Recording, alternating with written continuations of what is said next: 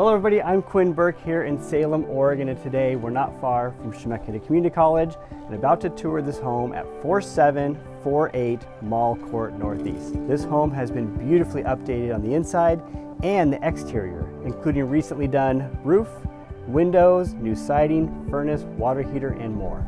Let's go inside take a look. When you walk into this home, you're greeted with a brand new, fully updated kitchen, hardwood floors, beautiful fireplace surround, and a large living room window that floods with natural light.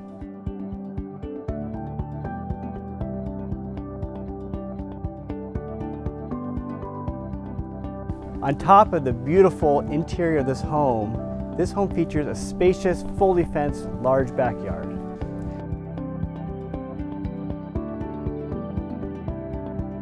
If you have any questions about this home or would like to schedule your own private tour, you can reach me at the contact information on your screen or find me on Facebook.